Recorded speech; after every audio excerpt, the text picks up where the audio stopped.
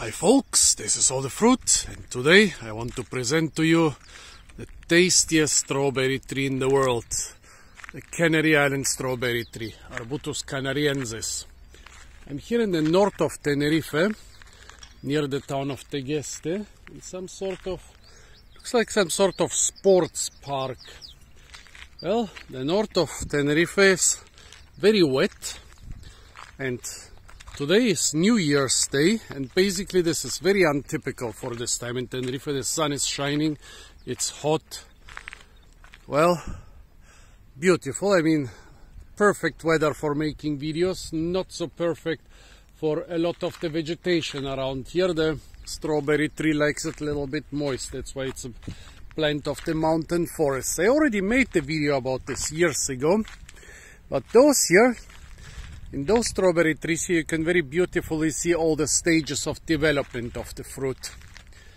Yeah, it's amazing. Nowadays the Canary Islands are really a fruit paradise, but when the Europeans arrived there were not many fruit and actually, well, I would say that the strawberry tree was by far the best fruit the natives of the Canary Islands had and one of very few truly edible fruits.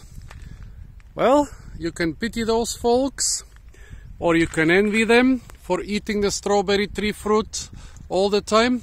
Let's look at the tree. It's a the Ericaceae family, which you can see from the beautiful flowers.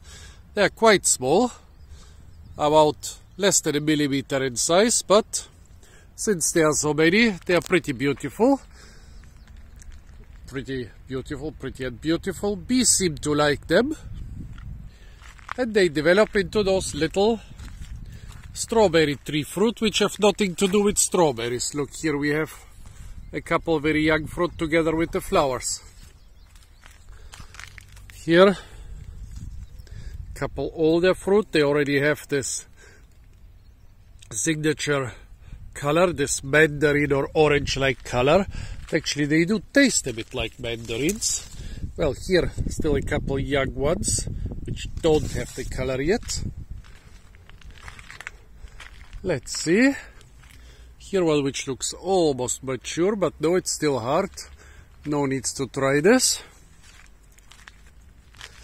Up there I see one which has already the slightly darker color. It might be worth trying it. Yeah. Okay, the only thing I achieved was making the bees upset. And there are a lot of bees in this tree. Whoa, look at the cloud of bees and bumblebees. Didn't know that there were so many. Yeah, but I still want to get one fruit. There are three strawberry trees here growing in a triangle, but the few mature fruit I can see are all very high.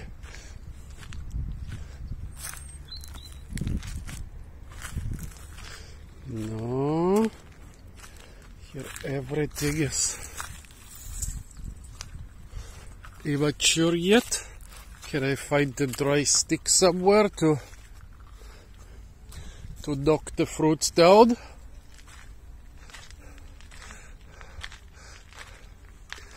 Well, up here I see a couple fruit, which I think can be ripe.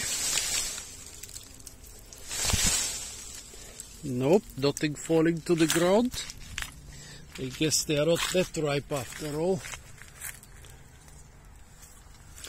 Ah, come on folks, I want to taste at least one fruit in that video. A little bit too small. I need 30 more centimeters.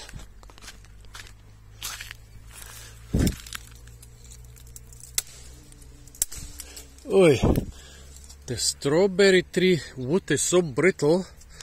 This branch burst into several pieces in my head, literally. Well, here is another branch. Okay. This should be long enough to snack this one fruit. Come on. Okay. I got it. Yeah. When they get ripe, they get a slightly darker color, but this one is still hard. Hmm? Yeah. I think this needs about two more weeks. Pity. Well, so here we have all stages of the strawberry tree fruit except for the really ripe ones. Pity, but still very beautiful tree in a beautiful countryside on a beautiful day. So folks, this was the tastiest native fruit of the Canary Islands. Stay tuned for a lot more fruit videos from the beautiful and sometimes incredibly green island of Tenerife. And of course, don't forget to like, share, comment, and subscribe.